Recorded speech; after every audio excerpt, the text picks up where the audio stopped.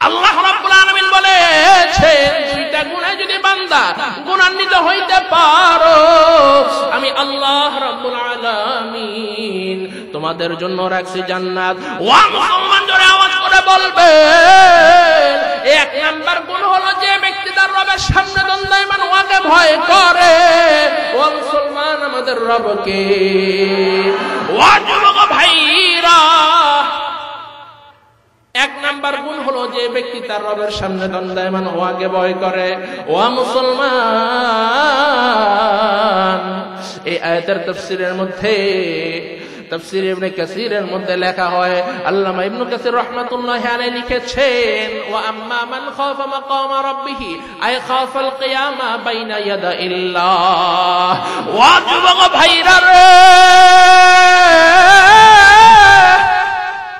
আল্লাহ রাব্বুল আলামিন আমাদেরকে দুনিয়ার মধ্যে 40 বছর হায়াত দিয়েছেন 50 বছর হায়াত আমাদেরকে আল্লাহ তালা দিয়েছেন 60 বছর হায়াত আল্লাহ তালা দিয়েছেন।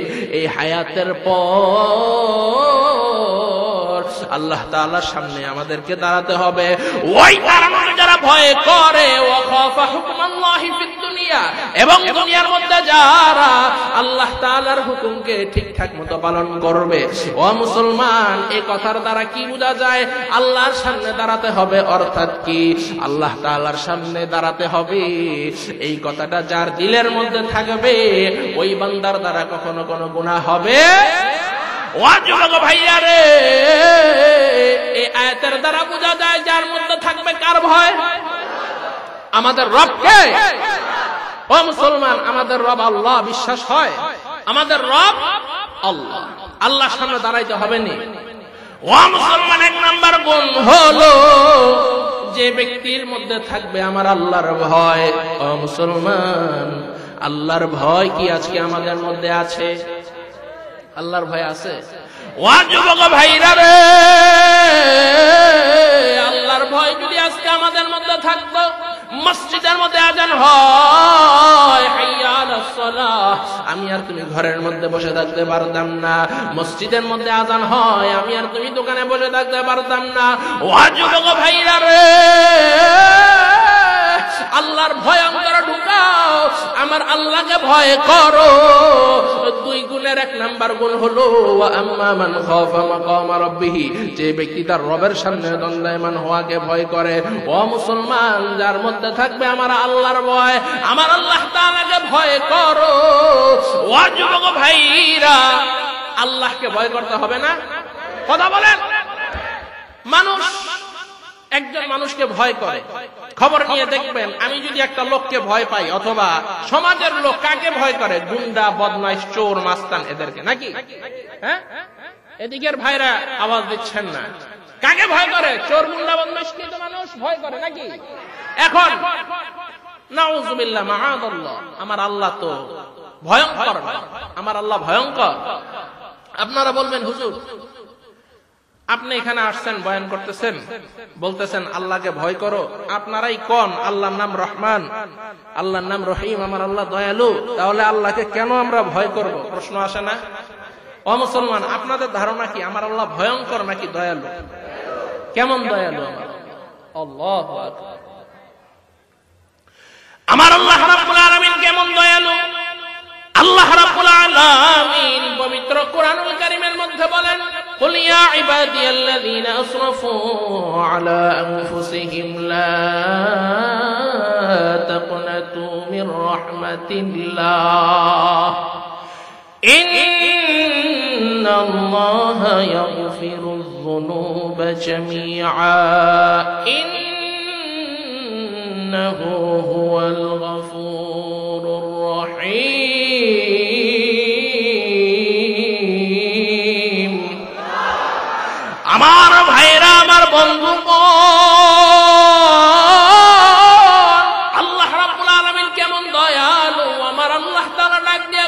ও পয়গম্বর, ও আমার নবী বিশ্ব নবী মুহাম্মদুর রাসূলুল্লাহ সাল্লাল্লাহু আলাইহি ওয়া আলিহি ওয়াসাল্লাম, নবী গো। আপনি আপনি আপনার উম্মতদেরকে জানাইয়া দেন। আমি আল্লাহ রাব্বুল আলামিন বলতেছি, ইয়া ইবাদিয়াল্লাযীনা আসরাফু আলা আনফুসিহিম, আপনার উম্মতদের মধ্যে, আমার বান্দাদের মধ্যে যারা নিজেদের উপরে জুলুম অত্যাচার করেছে, এক কথায় বলতে গেলে যারা গুনাহ করেছে, লা তাকুনাতু রাহমাতিল্লাহ ওই সমস্ত বান্দা বান্দিরা যেন আমি আল্লাহ তাআলা রহমত হইতে যেন নৈরাশ না হয়। আমি আল্লাহ তাআলার কাছে তওবা করলে আমি আল্লাহ তাআলা জীবনের সব গুনাহ ক্ষমা করে দিব। ভাইরা রে! আমার আল্লাহ রাব্বুল আলামিন কুরআনুল কারীমের আরেক আয়াতের মধ্যে বলেছেন ইয়া আইয়ুহাল্লাযীনা আমানু তুবু ইলাল্লাহি তাওবাতান নাসুহা। আমার ভাইরা আমার বন্ধুরে, আল্লাহ রাব্বুল আলামিন পবিত্র কুরআনুল কারীমের আয়াতের মধ্যে বলেছেন, হে ঈমানদারেরা তোমরা আমি আল্লাহ তাআলার কাছে তওবা করো। এমন ভাবে আমি আল্লাহর কাছে তওবা করো তওবাতান নাসুহা খাঁটি ভাবে আমি আল্লাহর কাছে তওবা করো। যেইভাবে তওবা করলে দ্বিতীয়বার আর গুনাহের দিকে আমরা যাব না। ও মুসলমান, আমার আল্লাহ তাআলার আয়াতের মধ্যে বলেছেন, ইন্নাহু কানা তাওয়াবা। ও মুসলমান, আমার আল্লাহ তাআলা কিনা বলেন আমার আল্লাহ তাআলা কেমন দয়ালু, পবিত্র কোরআনুল কারীমে আল্লাহ রাব্বুল আলামিন সূরাতুর রহমান নামে একটা সূরাই নাজিল করেছেন। আর রহমান আল্লামাল কোরআন, দয়াময় আল্লাহ। ও যুবক ভাইরা রে, এই কথার দ্বারা কি বুঝলেন? আমার কিন্তু আমরা আল্লাহ তাআলাকে কেন ভয় করব? ও মুসলমান ভাইরা, মুফাসসিরিনে কেরাম জবাবে লিখেছেন, আল্লাহ তাআলাকে ভয় করব মানে? আল্লাহ তাআলাকে ভয় করব মানে আল্লাহ তাআলার আযাব এবং গজবকে ভয় করব। চিৎকার মেরে বলেন, ঠিক কি না? পবিত্র কোরআনুল কারীমে বলেছে, ইন্না আযাবি লাশাদীদ।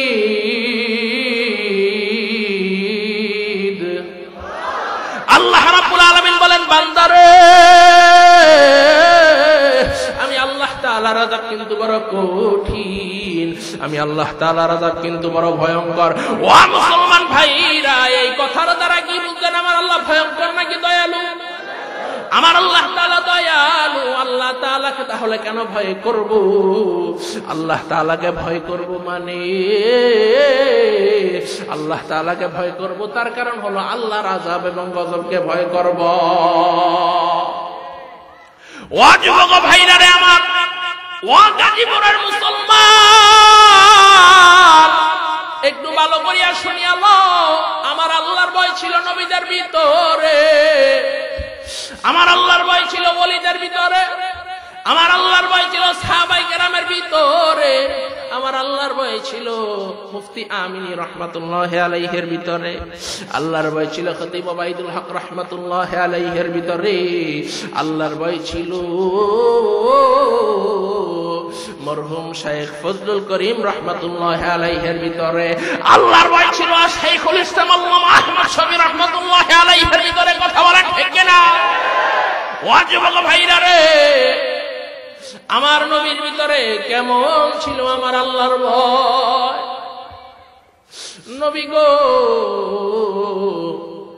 আমার নবীর কোন গুণা আছে?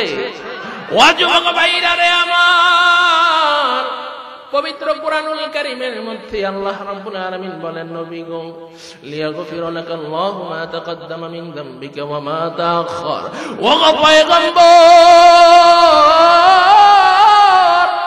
আল্লাহ আপনাকে সুসংবাদ জানাইতেছি। গো, আপনার পূর্ববর্তী এবং পরবর্তী সমস্ত ভুল ত্রুটিগুলো আমি আল্লাহ ক্ষমা করে দিয়েছি। এখানে একটা সূক্ষ্ম বিষয় আছে, আমাদেরকে বুঝতে হবে।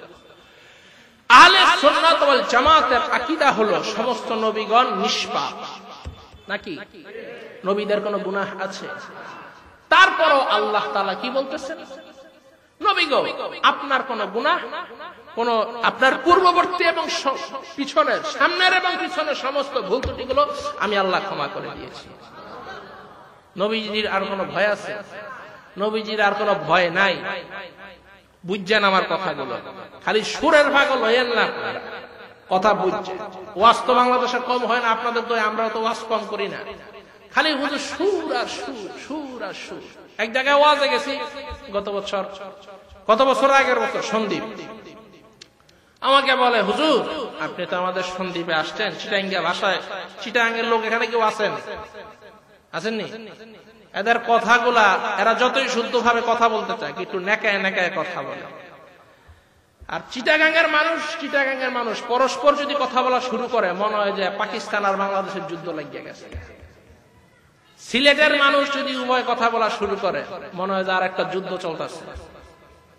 আমাকে বলে, হুজুর, আপনার গলায় যত সুর আছে, আপনি মাইকের সামনে এসে ডাইলা দিবেন।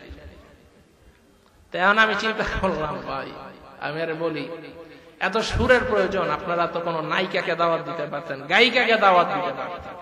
আমার নাম হইলে এনে কি লোক হইব? এনে যদি নায়িকা অপু বিশ্বাস আসে, বেশি লোক হইব না? হ্যাঁ? এনে যদি নায়ক সাকিব খান আসে চেয়ে বেশি লোক হইব না? হ্যাঁ? জায়গা দিতে পারবেন না। আজকে কয়দিনের মাথায় মাহফিল? দুই দিন কি তিন দিন? গত বৃহস্পতিবার বৃহস্পতিবার মাহফিলের ডেট ঠিক হয় এই জায়গায়। আর যদি আজকে সকালবেলা মাইকিং হয়, ভাই সব এটা কি স্কুলের জায়গার নাম কি? মাজুখান বাজারে বাংলাদেশের শীর্ষস্থানীয় সরি শীর্ষস্থানীয় বলে কিং খান সাকিব খান আসতেছে।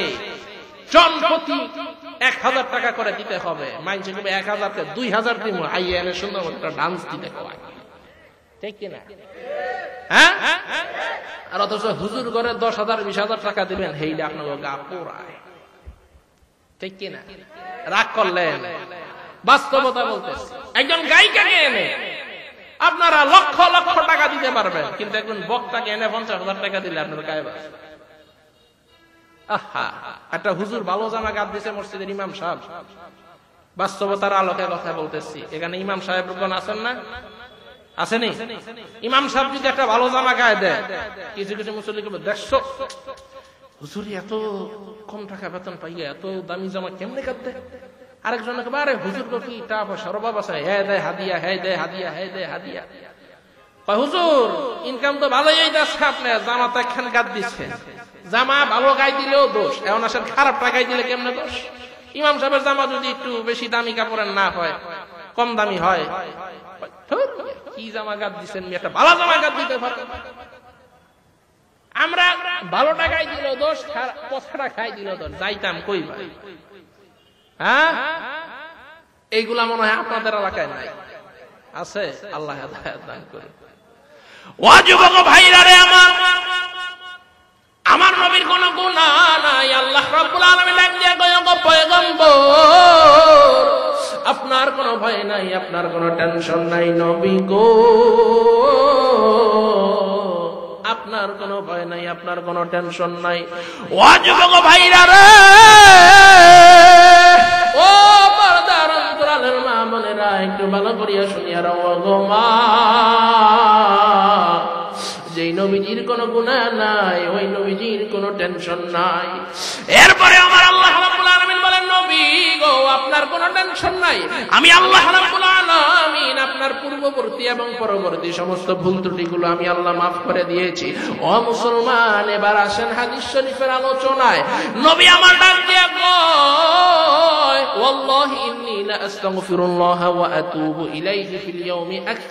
70 আমার নবী বিশ্ব নবী রাহমাতুল আলামিন ডাক দিয়ে কয়, ওরে উম্মত!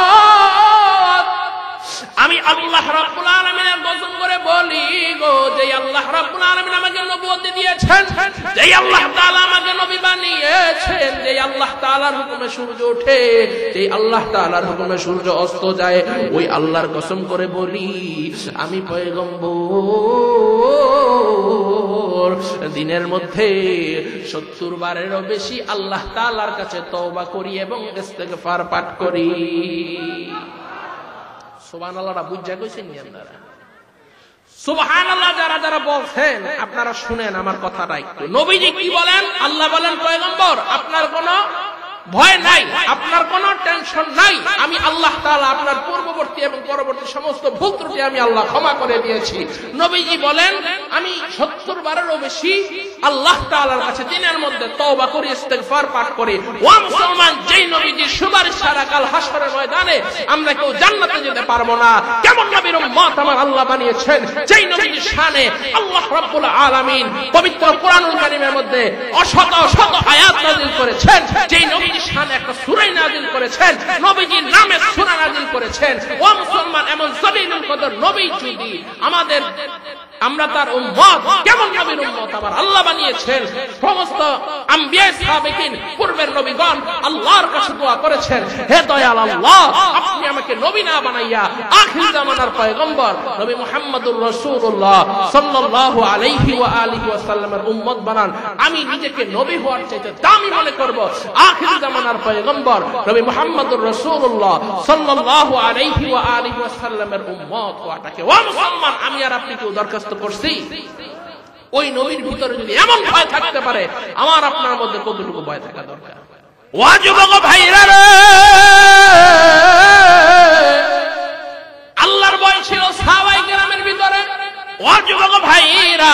এই ঘটনাটা বলে আপনাদের সামনে আমি শেষ করে দিচ্ছি। বাজার রে কেউ এদিক সেদিকে তাকাবেন না রে ভাইরা। আমার নবী বিশ্ব নবী রহমাতুল্লিল আলামিন। মেরাজের রজনীতে জান্নাত ভ্রমণ করেছেন, জাহান্নাম ভ্রমণ করেছেন। এই কথাটা কি এই গাজীপুরের মানুষ জানে? আমি আপনার কথা গেছি, গাজীপুরের মানুষ জানে জানে? যুবক ভাইরা রে আমার? আল্লাহর নবী, বিশ্ব নবী রহমাতুল্লিল আলামিন মেরাজের রজনীতে জান্নাত ভ্রমণ করেছেন, জাহান্নাম ভ্রমণ করেছেন। আমার পয়গম্বর যখন জান্নাত ভ্রমণ করতেছেন, এমন সময় আল্লাহ নবী দেখতে পেলেন, জান্নাতের মধ্যে এমন বিশাল বড় একটা বাড়ি দেখা যায়। যে বিশাল বড় বাড়ির মধ্যে জান্নাতি ঘুরে উজু করতেছে। ও যুবক ভাইরা, যেই বিশাল বড় বাড়ি দেখা যায়, যেই বাড়ির মধ্যে জান্নাতি ঘুরে উজু করতেছে। ভাই গো কেমন বিশাল বড় বাড়ি? এত সুন্দর বাড়ি। যেই বাড়ির মধ্যে তুমি যে জান্নাতের মধ্যে দেখতেছেন, এত বিশাল বড় বাড়ি, যেই বাড়ির মধ্যে জান্নাতে হুরেরা উজু করতেছে। এখন হুরেরা কেমন সুন্দর? ওই হুর পাইতে চান জান্নাতে। ওই জান্নাতের হুর পাইতে হইলে একটা কাজ করা লাগবে। বলব? দুনিয়ার গার্লফ্রেন্ডকে তিন তালাক দিতে হবে। কয় তালাক স্ত্রীকে যেমন তালাক দিলে, ওই স্ত্রীর সাথে আর দেখা করা যায়? হ্যাঁ? আর বাকি কিছু তো পরে। দেখা করা যায় না। যেমন ওই রকম ভাবে দুনিয়ার গার্লফ্রেন্ডকে তুমি তালাক দাও, আল্লাহ তোমার জন্য রাখছে জান্নাতে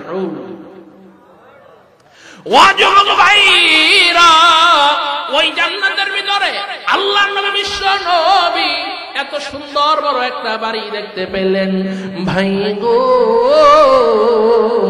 ও যুবক ভাই, একটু ভালো করিয়া শুনিয়া লও, তোমার ভিতরে কেন আজকে আমার আল্লাহর ভয় নাই? তুমি আজকে কেন আদান শুনিয়া মসজিদে আসো না?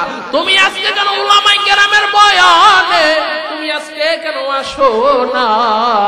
ও যুবক ভাইরা রে, আমার আল্লাহর ভয় অন্তরে ঢুকা